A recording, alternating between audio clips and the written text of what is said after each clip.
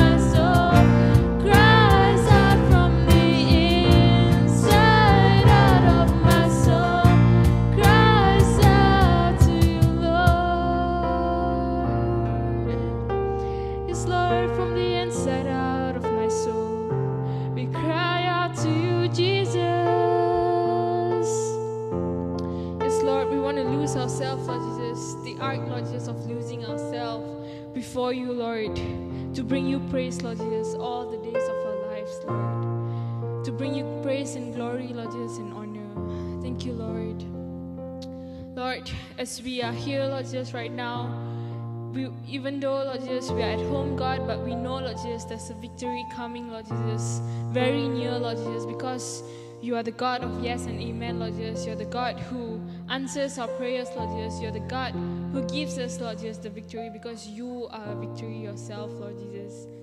Thank you, Lord. And Lord, we just come into your presence, Lord. And we claim, Lord Jesus, this victory, Lord Jesus, upon our situation, upon our lives, Lord Jesus. Thank you, Lord. Yes, Lord Jesus.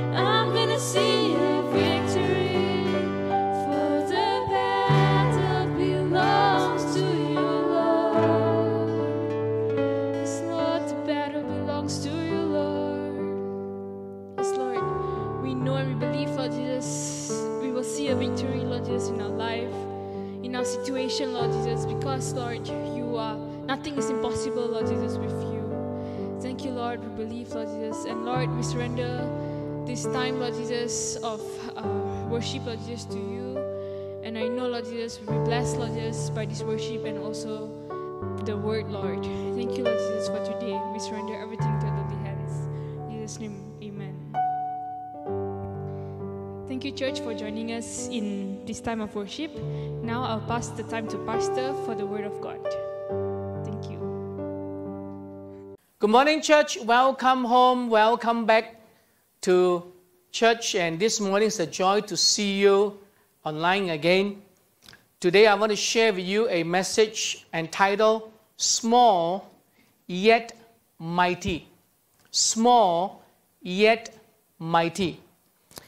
And uh, it basically talks about us. Sometimes we look at ourselves, we are so small, so insignificant, so incapable, but yet, you know what? God has made you and I for mighty works. God has made you and I for great things and big things in life. Amen? Amen? All right, I want to share today small yet mighty. Ephesians 2, verses 4 to 10 says, But because of his great love for us, God, who is rich in mercy, made us alive with Christ even when we were dead in transgressions. It is by grace you have been saved, and God raised us up with Christ and seated us with Him in the heavenly realms in Christ Jesus, in order that in the coming ages He might show the incomparable riches of His grace expressed in His kindness to us in Christ Jesus. For it is by grace you have been saved through faith, and this is not from yourselves, it is a gift of God not by works, so that no man can boast. But we are God's handiwork, created in Christ Jesus to do good, good works, which God prepared in advance for us to do. Amen. Let's pray. Father, we look to your word, we ask of you today to speak to us. Help us to understand, know your word, and grow in your word so that our life may be impacted with strength and might. In Jesus' name we pray. Amen. Amen. You know, the Bible talks about church. The, uh, uh, Paul wrote to the church in Ephesus. In chapter 2, he talks about because of God's great love, He saved us, He made us alive in Him. By the grace of God, we are saved. But at the same time, we are put in a position with Christ, in standing position with Him. And we were supposed, we are supposed to see Him in the heavenly realm. And in time to come, you know, when He come back for us, we will be taken up to eternity and we will rule with Him one day in the heavens. But the Bible says salvation is a gift from God. No man can work to earn the salvation. So that why we cannot boast. And verse 10 said, because we are God's handiwork created in Christ Jesus, we are here created Christ Jesus. He in, in, induce us within our spirit with power and enablement, enablement and ability to do great works and great things and you know what? You and I, though sometimes we look insignificant, incapable, but you and I were made to do great work and break word. Amen? Amen. Now let me share with you uh, illustration. You know, if you go to North America, there are times late in the night in a harsh desert of North America called Sonoran Desert where one can hear a faint, high pitched howl. But you probably wouldn't suspect the source of the sound, the small yet mighty grasshopper mouse howling at the moon to establish its territory. This unique rodent, dubbed as the werewolf mouse, is also carnivorous. It eats grass and roots, but at the same time, it also eats insects and so on and so forth. In fact, it preys on creatures few dare to mess with, such as the scorpion. But the werewolf mouse is uniquely equipped for the particular battle with the scorpion.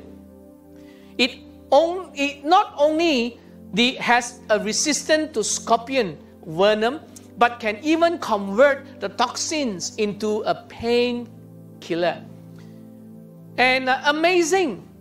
The Bible says we as Christians, we, we were induced with the Spirit of God, we were given the Spirit of God within us with an, an enablement to turn every discouragement, every pain, every difficulty, every hard knock that we face in life into a painkiller, into something that will make us feel stronger, make us feel better, make us feel at ease. Though outside the things are not at ease, the things outside are discouraged, are very discouraging, but yet the Spirit of God within us help us to look at things with the right perspective and turn it around and make it into something strong to build us up, strengthen us, and lift us up. Amen.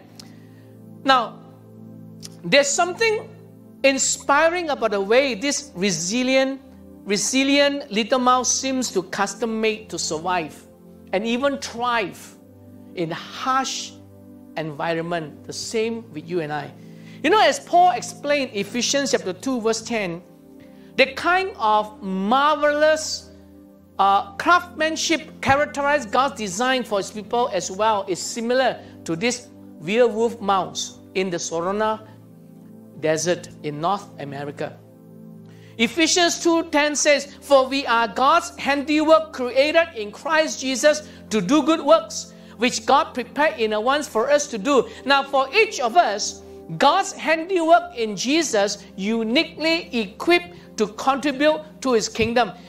When God created us, when God made us, when we got saved, God put his spirit into us. God's spirit within you and I have somehow worked in every one of our lives as we yield with Him, a yield to Him, to be empowered, to be trained, to be strengthened, to be built up, so that we can contribute to the work of the kingdom. We can do greater things than can we ever imagine. Amen. So no matter how gifted, how God has gifted you, you have much to offer to the Lord and to the people of God and to the house of Jesus Christ in this world. As you and I learn to embrace with confidence who God has made you and I into and to be, you and I will be a living witness to the hope and the joy of life in Christ Jesus on earth. You know, we don't have to live our life defeated. We don't have to live with a victim mentality. We don't have to live with a mentality to say, oh my, my, oh poor, poor me. We don't have to live with a mentality to say, you know, everybody seems to be against me. Everything seems to be against me. Everything that's happening in the world, I seem to be in the receiving end. I seem to be in a bad stage. I, I seem, everything seems to be negative to me. You know what? You don't have to live that, that kind of mentality. Poor me, poor me kind of mentality. Oh my, I am good for nothing. I cannot do anything. Because why? God says, the Word of God says, He has specially made you and I into whom He has installed for you and I to be. But there's someone called the devil, and the Bible calls him the enemy of our souls, constantly looking for opportunity to entice you and I, to tempt you and I, to cause you and I, and to deceive you and I to be entrapped in a scheme of lies and deception so that he can somehow move in and control your life and, and lead you to live your life the way he wants you and I to live a failure, a man of pain, and a man that will struggle in this world. That's the enemy of soul. But you know that that that isn't that is not what God wants you and I to be. That isn't what God wants you and I to be. So as you face whatever feels most menacing in your own life, most dangerous, most threatening situation in your own life, the Bible tells us take courage, be strong. Why? You may feel small, but through the gifting and the empowerment of the Holy Spirit in you, God can use you to do mighty things. Amen? No matter what you and I face outside, God can use you to do mighty things and do great things in this world if you learn to trust Him. That's why the Bible tells us 1 John 5, verse 5. Who is it that overcomes the world? Only the one who believes that Jesus Christ or Jesus is the Son of God. He said, if you believe, if you trust, if you receive Him, if you rely on Him, if you really depend and commit to Him, you know what? The Bible says you can overcome the world as follower, as believer, as disciples of the Lord Jesus Christ. You and I don't have to live with a victim mentality, a failure mentality. You and I can live as a victor. You and I can be an overcomer. You and I can have the strength of the Lord to live on this earth. You and I can excel. Like I always tell our church staff and all our assistant pastors and ministers, they can excel. Every time when they come to the house of God, when they come to the office to do work, they must they must prepare in their heart to excel, believe God to use them to do better, greater than what they can do and what they are doing. Amen. We can excel, not because our own ability, we can excel because the Spirit of God is at work in every one of us and He can do great things in and through our lives. Amen. That's our God. That's our God. Only the one who believes in the Lord Jesus Christ, who is the one to overcome the world, who can win the battles of life against the world, who can possibly fight against the enemy and this world and temptation and struggle and pain and pandemic and win this battle? Except he who has Jesus in their life and believe in him for victory and for success. He with us shall have the victory. Amen? Amen? Yeah why? Why? Because 1 John 4 verse 4 says but you belong to God. You hear that again, my dear children. You have already won a victory over those people because the Spirit who lives in you is greater than the Spirit who lives in the world. Who is that? The spirit of the world. Who is that? The devil. Who is that? Demons and, and, and, and, and, and uh, uh, fallen angel. Who is that? People who are against you. You and I can have victory because Jesus lives in you, have made you and I to be a mighty warrior. Amen. You can be successful in living your lives. So now, listen here. What scripture said to you and I today? What has the Bible talk about you and me in order to live uh, a victorious life? You know, live a life. You know, though we are small, we can be mighty in Christ Jesus. We can more, be more than a victor in Christ. Let me share with you a few things. All right, four things. Number one, watch your focus. You want to do great things for God, you want to excel, you want to grow, you want to be better in Christ, watch your focus. What does it mean? What you focus on, what you look at, what you see is very, very important in your life. Many a times in our life, we only look at negative things, we only look at failures, we only look at bad news. We hear all the bad news and look at all the bad news, and therefore we discourage us. Watch your focus. Don't waste your time on bad things and negative things. Patricia King says, Whatever we focus on, we empower.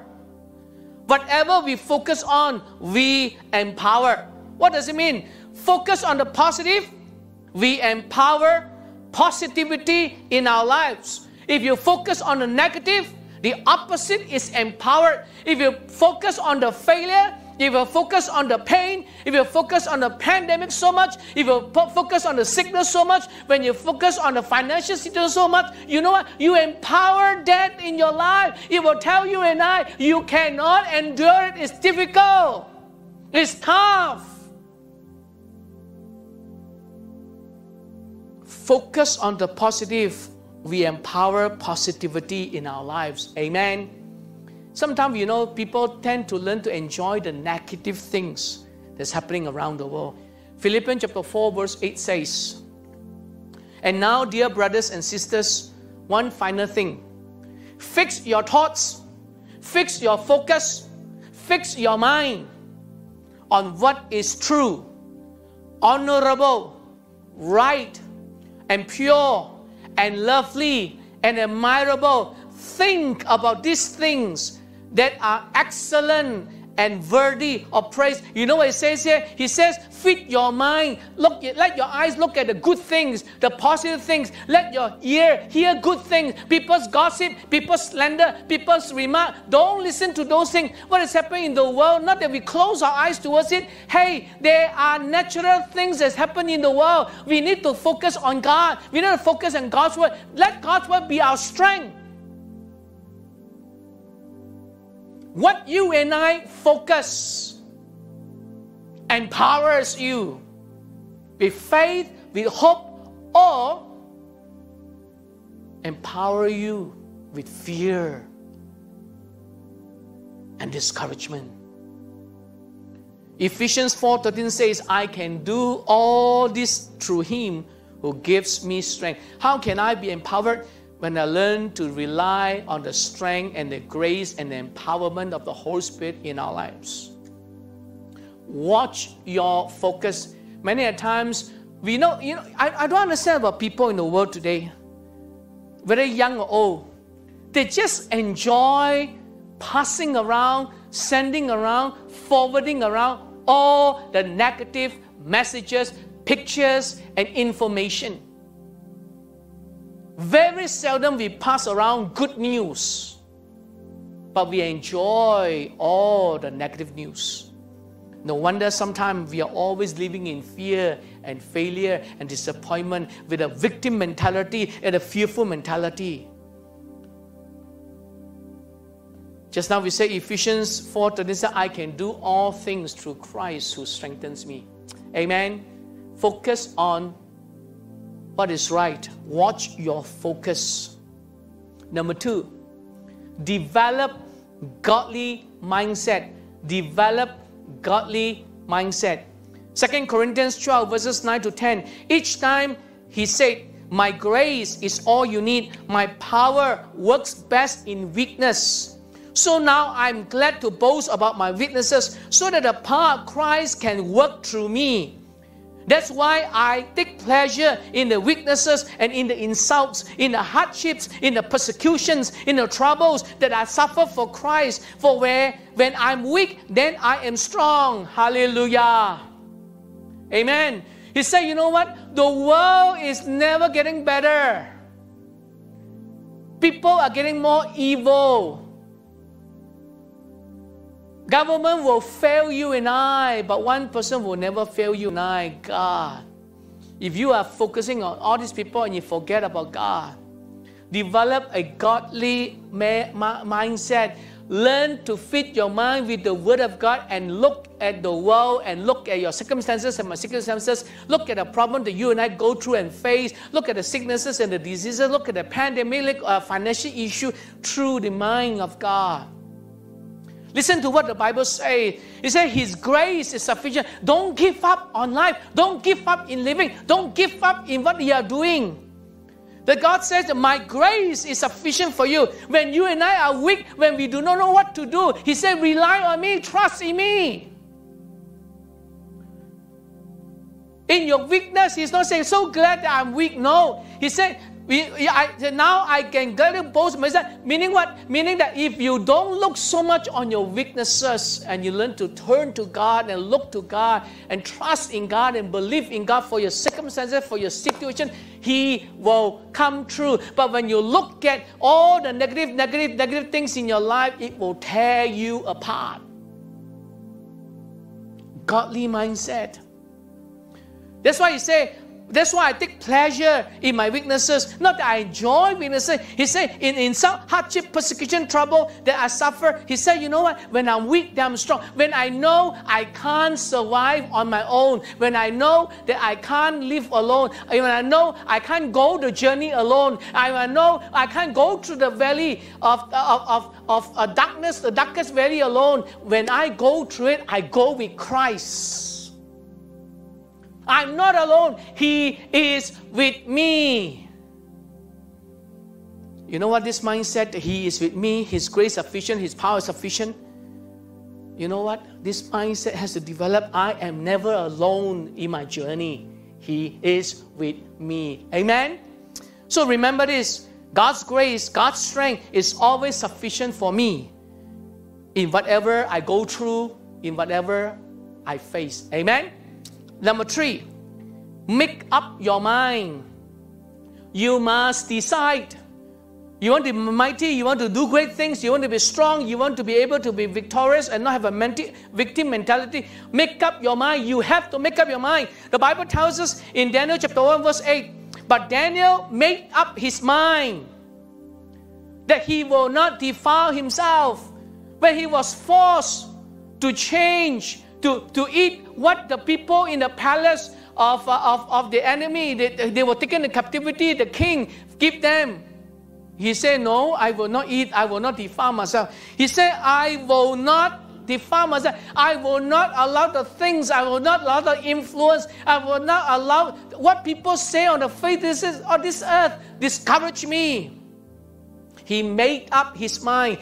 Daniel decided and determined that he would not give place in his mind or heart to temptations, to life pressures, to life difficulty. He said, I will not submit and surrender and yield to problems, problems and insult and pain and pandemic and difficulties. He said, I have decided and I determine I will not succumb and give in to pressures, difficult times, hard situation in my life because you know why? I still have a good God. I still have a great God. And my God is still on the throne. My God is still in control. I focus on Him. I decided on that. I will not trade my Lord, my belief, my faith, and my hope for anything. Because in Him, I will trust. Amen? In Him, I will trust. Amen? Number four, see God in your situation. See God in your situation. You know, sometimes when we go through difficult time, we, we, we, we can't see God in our situation. We have to see God in our situation. We have to see God in the pandemic. We have to see God in our struggle. We have to see God in our sicknesses. 1 Samuel 17, verses 40, 45 to 47. David said to the Philistine, You come against me with sword and spear and javelin, but I come against you in the name of the Lord Almighty the God of the armies of Israel, whom you have defiled, defied. This day the Lord will deliver you into my hands, and I will strike you down and cut off your head. This day, he repeat again, I will give your carcasses of the uh, carcasses of the Philistine army to the birds and the wild animals, and the world, whole world will know that there is a God in Israel. He said, This day this day, when all those gathered here will know that it is not by sword or spear that the Lord saved, for the battle is the Lord's, and He will give all of you into my hand. You see, listen for a while. See God in your situation, see God in your circumstances, see God in your day to day journey with Him. In this trying world that we're going through. You got it? Did David see the giant? in his life? He did. But was he focused on the giant? No. David did not focus on the giant in his life. He was focused on God. He was focused on God. King Saul, all his generals, and all the army of Israel, they only see the giant. They saw the giant and they keep on looking at the giant and they put a fear in their life. And they always hear the voice of the giant, it put fears in their life. They saw the giant. They succumbed to it. But David saw the giant, but he did not focus on the giant. He was focused on God, who is over his life God is over his life. God is the power behind his life. God is the one who drives him in his life. David did not comment on the size, on the strength of Goliath, or the weapons Goliath carried, or the, the years of training Goliath has gone through. his thoughts and his focus was God.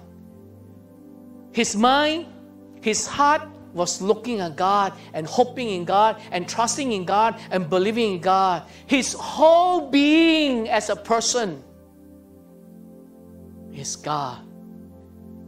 He said, If you come against me with sword and javelin, and whatever training and background you may be, you may be big, you may be, you may be humongous. But you know what? I come against you in the name of the God of Israel. He will fight for me. He will win the battle over you. He will help me to overcome you. He never said, I will overcome. He said, He, He, He. Amazing, isn't it? Amazing. You know why we are small, sometimes we look insignificant, but yet we can do great things? Because not uh, of us, because of Jesus that is in us, we can do great things. Let me close with this. What about the God who saved you and I? Said to you about Him. What about the God of who saved you and I? Say about Himself to you and I as believer. Let's look at Romans chapter 8, verse 28 to 29. It said this way And now we know that God causes everything to work together for the good of those who love Him are, and are called according to His purpose for them. You saw that? Everything that work out in our life, everything we go we go through in life, God is aware of. God is still in control, and God has a plan and a purpose for you is to build you up, to strengthen you, and to make you a bigger person in Christ Jesus. Amen. 29 says, For God knew his people in advance. He saw He know you and I. And he chose them to become his son. So that he, his son would be the firstborn, the supreme among many brothers living in their life, will empower them, will grant them the ability, will grant them the grace and the strength to be an overcomer, to do great things, to be mighty in the Lord. Verse 30 say, having chosen them, he called them to himself. He bring them to empower them, to use them, to, to, uh, to anoint them. And having called them, he gave them right standing with him. And having given them right standing, he gave them his glory. It means that you share position with him, you share the power with him, you share the authority with him. And then he said this, you know what? Nothing can separate you and I from the love of God. God loved you and us so much that Jesus came and died for you and I. Amen. Verse 31 says, What, what shall we say about such wonderful things as this? If God is for us, who can be against us? You saw that? He said, God is with us. Who can be against it? Can the pandemic be against us? No. Can the enemies be against us? No. Can the devil be against us? No. They can frighten us. They can, they can cause a stir of confusion in our mind, in our heart, in our spirit, but they cannot overcome us. The only way they can overcome us is when we live in fear and when we give in to Him. Verse 32 says, Since He did not spare even His own Son, but gave Him up for us, won't He also give us everything else? You see, He loved us so much that He gave us Jesus Christ. So therefore, don't you think that He will give you all that you need? 33 says, Who dares accuse us whom God has chosen for His own? You know, people against you, let them be surrender them to the Lord. No one, for God Himself has given us right standing with Him. Who then will condemn us? No one. For Christ Jesus died for us and was raised to life for us. He's sitting in a place of honor at God's right hand, pleading, defending you and I. Can anything separate us from Christ's love? Does it mean He no longer loves us if we have trouble and calamity and are persecuted and or hungry or destitute or in danger or threatened with death? He said, you know what? Whatever you and I go through, you and I are not alone. He is with you. He's so close to you that He lives within your heart. As the scripture says, for your sake we are killed every day. We are being slaughtered like sheep. No, despite all these things, overwhelming victories is ours through Christ who loves us. You know what? He said, Don't let the things that's happening, don't let people, don't let the situation and the circumstances around you and I frighten you and I, tear you and I down, dishearten you and I. He said, You know what? In Christ, we have overwhelming victory, overwhelming uh, authority, overwhelming power, and we can be a victor. Amen? Amen? Take note of this. In verse 38 says, For I am convinced, Paul says, that nothing can ever separate us from the love of God except ourselves. Nothing outside can separate us except ourselves. Neither death nor life, neither angels nor demons, neither our fears for today or our worries about tomorrow.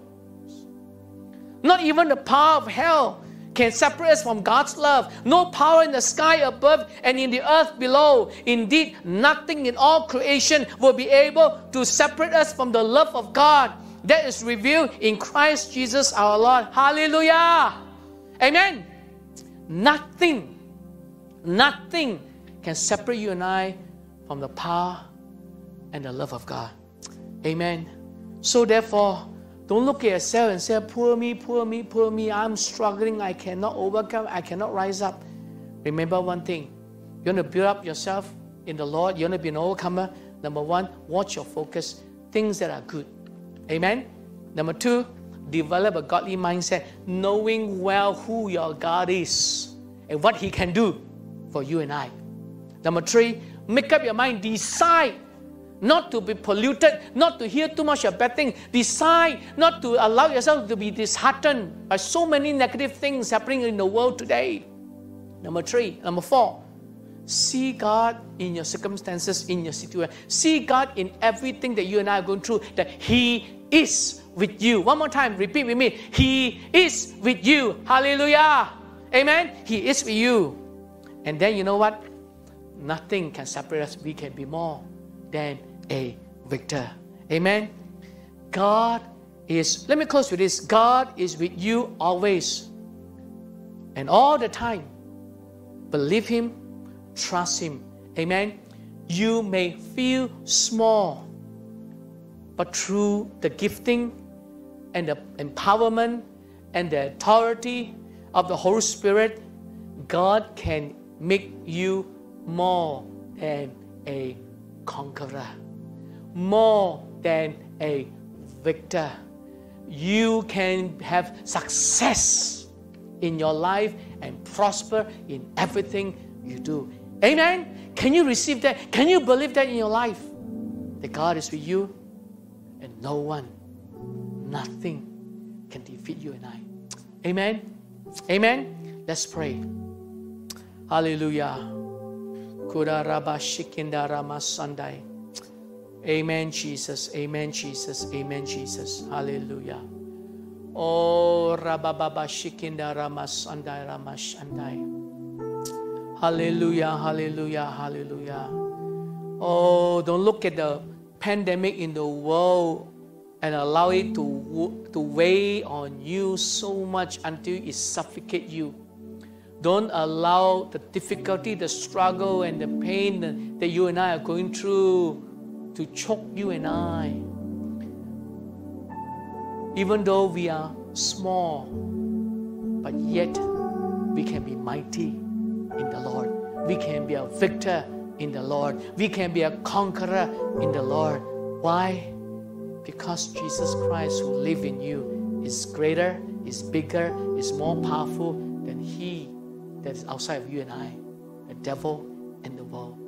Amen. Amen. Let's pray. Can I challenge you today? Just take a few minutes, ponder over your own life, just one minute to ponder your own life, and just say, Lord, you know what? Thank you for your word that you have handpicked me and you have made me to be whom you want me to be a victor and not a victim, a conqueror and not a defeated foe, a victor, a victor a victor in Christ Jesus. Amen. Say, Lord, you know what? I need your strength. I need to commit myself to you, to trust you, and to rely on you. Can you take this 20 seconds to pray and commit yourself to the Lord? Say, God, help me to walk with you, to believe in you, and continue to trust in you. In Jesus' name.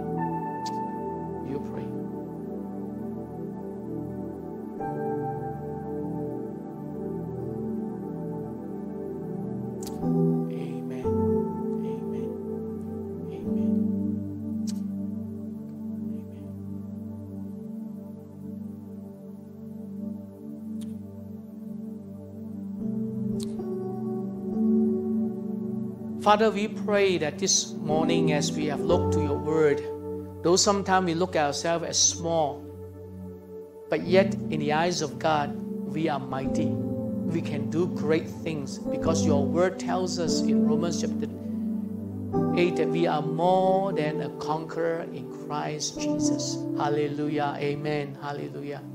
Father, we pray that you help us to learn to look at things through your eyes that we will learn to tune ourselves to watch our focus, what we look at, and what we allow to come into our life. That we will learn to develop a godly mindset that God is still in control. That we will make up our mind to stand for Jesus and to commit to that cause that He is with us and our God is good and is still in control. And that we will see God in our circumstances. That He's walking through it with us. And most of all, nothing can separate us from your love. Father, we pray that you protect over us, bless us as we commit ourselves to you in Jesus' name. Amen. Amen. Maybe there's some of you have not known Jesus yet. Today's a good time to receive Jesus into your heart. If you want to receive Jesus into your heart today, follow me in this prayer to receive Jesus. Amen. Bow your head and close your eyes for a while and follow me right now. Okay? Lord Jesus, today I want to receive you into my heart to be my God and my personal Savior. Lord Jesus, forgive me of all my sins. Help me to walk with you, commit my life to you, and follow you, Jesus all the way. This I pray and I ask in Jesus' name.